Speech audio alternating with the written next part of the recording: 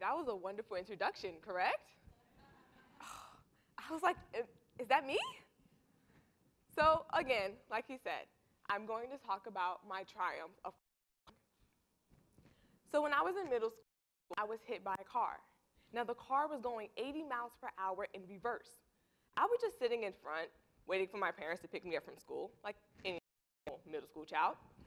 But until that moment, when the car backed up, it crashed into both of my legs. So both of my legs were crushed in between the gate and the bumper of the car. To hop over the car, but my leg got caught. And at that same very moment, I tried to grab my friend's arm that she wouldn't get hit either, but it was too late. The car smashed directly in front of her face. So she was, she was already dead. Everyone started help, help, help, help, help, help, help, help. And I was on the ground. I couldn't talk. The impact of the ground, I hit my head so hard, I wasn't able to function. So as I, le- as I went into the nurse's office, she was scrambling through papers, scrambling through papers. Let me find her mom, her parents, her parents. Let's find, call the ambulance. I couldn't talk. She was like, Are you okay? Are you okay? I just sat there, froze. I couldn't say anything. I couldn't even remember my name. And then the ambulance came. And then the moment that the ambulance came, they start checking me, checking me. Are you okay? Are you okay? Are you okay? But I couldn't say anything. And my legs were scrunched together. I couldn't even move them. And they couldn't even pick, they had to up on the gurney because I couldn't walk. At that moment, I see my cousin coming out, coming out of the school. He's like, Ray, Ray, what's happening? What's happening? What's going on? He's crying, he's crying, he's crying. But I couldn't talk to him but I seen the pain on his face, agony, and how it really hurt him. At that moment, I knew I probably was going to die. Hospital, rushing the hospital, going, going, going. Everyone's pulling, pulling, pulling, tucking, tucking, tucking. Room one, room one, two, two, two, doctor, doctor. I get in the room, the doctor is there, and my parents jump in. They come in. What's happening? What's happening? What's happening? And panicking. She see me on the bed with my legs bent back. And she says, What is happening? How this happened? We were just supposed to pick her up. How was it? Was it? And she's crying, crying, crying, crying. And I can see the life being ripped out of her, being that I'm her only daughter.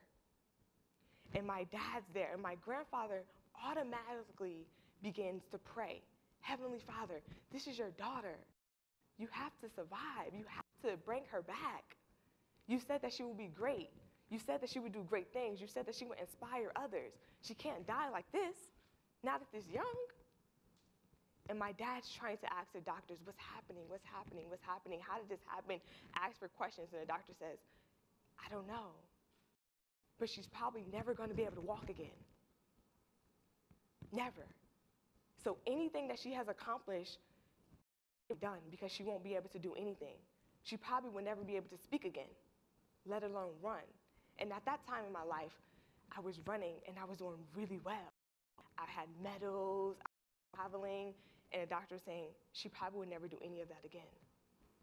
So then my dad began to pray. And my dad's like, Heavenly Father, how is this possible? You have to bring her back. It's no way that she can die like this. And as I am, I'm unconscious for about four hours. I couldn't move, but I can see and hear everything that was happening but I couldn't talk to them. And I just wanted to reach out and talk to my mom and say, Mom, I love you. If I have to die, I want you to know that I love you. And Dad, everything that you have done for me up until this point, I thank you. But I couldn't say anything. I just laid there. And in that moment, I heard a voice from above. The voice was very soft, very subtle. He said, My daughter, my precious beloved daughter, do you want to live or do you want to die? Because if you live, you live, someone else will have to bear the burden of you being able to walk, to talk, to breathe, to run, to live, to think on your own. But if you die, the world will lose out on the impact that I into you. They won't be able to get the gifts that I have desired for you to give. So it will be a lose lose. And then your parents will remorse forever knowing that their daughter died so young. So I thought, I said, Well, Father, I would rather die. I would rather be dead than to see my parents struggle with medical bills to pay for me, for to help me. And I would rather die just to see someone else carry the burden of me, of my pain. Dying seemed better. But then the voice again My daughter, I love you. And I thank you. You are amazing that you were willing to die so that someone else can live. And he said, You're going to live, and you're going to walk again, and you're not going to be paralyzed, and you're not going to be brain dead. You're going to be smart, you're going to be energetic, and you're going to inspire millions of people. But with that, you have to understand that you have to live your life every day for me. Every day. You won't fit into every you won't fit in you won't fit in with everyone else. Things that other people do, you won't be able to do. And not everyone will understand you because your purpose is greater. And you have to be okay with being different. And I woke up. Life was brought back into my body. I grabbed my parents and I hugged my mom as if I was giving her her life back because I knew that her life was ripped out of her. And I walked out of the hospital on both of my legs and walked out. And then I asked, What happened to friend? Is she okay? Because in my I was more concerned about her than I was concerned about me. But they said it was too late for her. Then at that moment, I realized that my destiny is bigger than me. My self being is greater than me. And I decided to live my life that way. So as I went to school, I was in special education. Now, while my time in education, I've seen how, I saw how teachers were, they taught in a way that didn't matter, as if those students were incapable of doing anything. And I told my professor one time, I said, you know, I want to travel the world.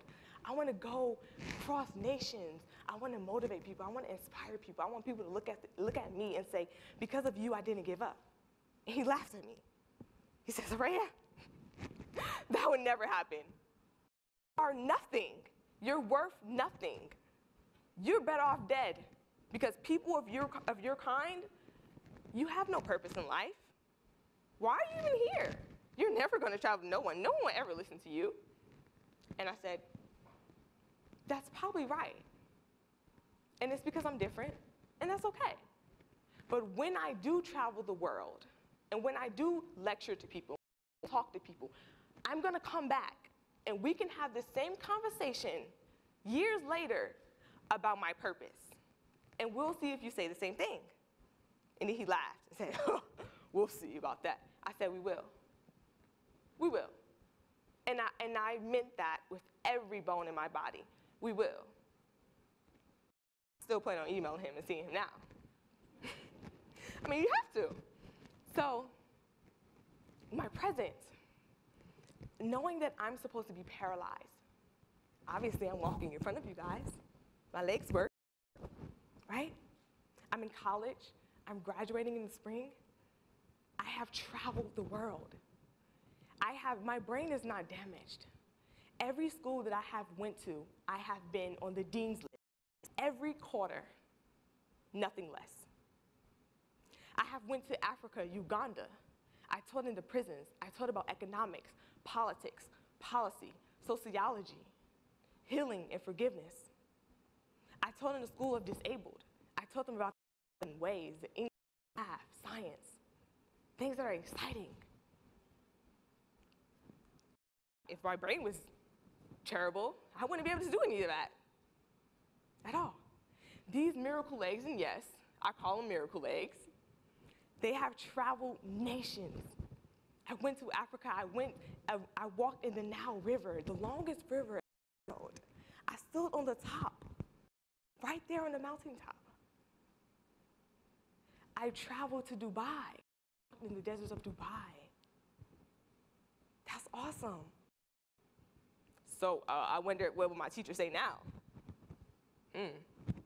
Right? That's cool. That's awesome. But in that, I learned that my purpose is bigger than me. And I have to live in that each and every day.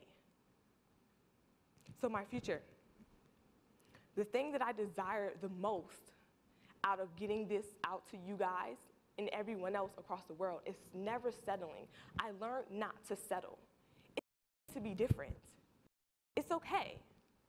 You won't be like everyone else. And I learned that especially through track. Because during track is really competitive. And people say if you don't do, if you don't start track when you're young, you won't accomplish anything. But again, that's not true. For the schools I have went to, I have set two records. And now I'm at Cal Poly and I'm working on setting the third one and taking it. Yeah, I am. And it's gonna happen. And you know why? Because I'm so determined and I'm so driven. I'm going to stop at nothing until I get every single thing that everyone said I would never be able to do. So I like when people say you can't do something. I like that because that makes me hungry. So the message that I'm giving here today to everyone else through my triumph, to my conquer, is saying that anything that you desire to do, do it, pursue it. Dare to dream bigger. Because if we begin to build a generation of people who can dream big something, nothing is impossible to us at that point. And that's it's almost like a quote what my grandmother said. She says, Oh, honey, I don't ever think we would see a black president. Long time ago, long, long time ago. And this is back during the civil rights movement. And now, and then when Obama was elected president, he was in office. I said, Grandma, how do you feel? And she says, I feel like the impossible has been made possible. And I said, You know what? You're right. Things are only impossible to people and to the way we see things because it has never been done before. But the moment that we see things to be done, is possible now. So now your possibilities are endless. So that's, that was, that's the message that I want to give out today. Is whatever you desire to do in life, do it. It doesn't matter. It doesn't matter how hard it is, how impossible you think it is, to pursue it. And then once you pursue your impossible thing and you make it possible, and then go out and help the next person pursue their thing that's impossible. Because if, if I do my thing that's impossible and I help someone else do their thing impossible, nothing, we have no limitations at all. Now limitations are endless. So first, I'm gonna go to law school. I am, and I'm gonna graduate top of my class, and I'm gonna be a Supreme Court judge. I'm gonna do that. Definitely. Definitely. And I like that. And then once I begin to do that, I'm going to help the next generation pursue their dreams as well. Because my whole thing is if I be great, I want everyone to be great around me. What's the point of just being great by myself? It's not good enough for me. I want everyone to pursue their dreams, whatever it is. So if I'm great, I want you to be great. And then my thing is, if you're great, make somebody else great. Help them in whatever avenue they can. Because then at that point, we're building a generation of people who care, people who love, and people who do not live in fear. Because fear is one of the biggest things that hinder us fear, doubt, defeat, what people say. So forget about the naysayers. Forget what they say. So what? Be different. Be you. Be genuine and true to who you are and pursue whatever you want to do. So dare to be different. Dare have the audacity to go out there and pursue whatever you want to do. Be a conqueror. Thank you.